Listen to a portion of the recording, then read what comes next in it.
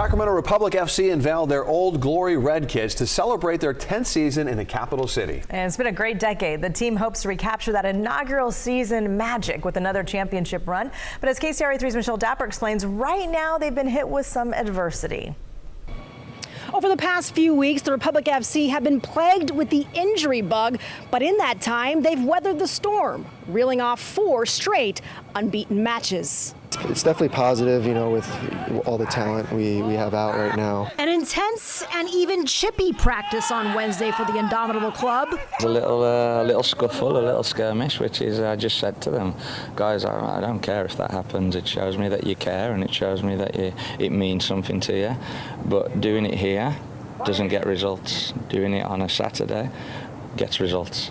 The Republic FC have notched just one win in their last seven matches, but still managed to collect eight points. We're in first place in the conference, and we're in a slump, and we're going through a lot of injuries. So we're still doing okay. Injuries to starters Rodrigo Lopez, Sebastian Herrera, Luis Felipe, Jack Gurr, and most recently, Dami Viader. Yeah, he's trying to fit the pieces to a puzzle um, and there's you know there's some pieces that don't necessarily fit. I mean, injuries happen throughout the season, and you need a you need to have a good deep lineup, you know, to get through a to a, through a 10 month season. Do you expect any of them back this week?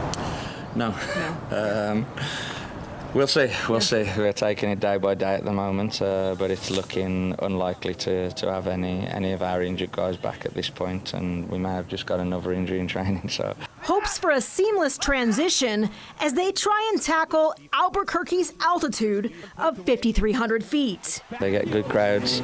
Obviously, it's altitude as well, and it's a baseball field. It doesn't matter who we play, where we play. You know, we're going to be at our trying to play at our best. So now the Republic FC head to the Southwest to take on New Mexico United Saturday with a 6 p.m. kickoff. At Heart Health Park, Michelle Dapper, KCRA 3 News.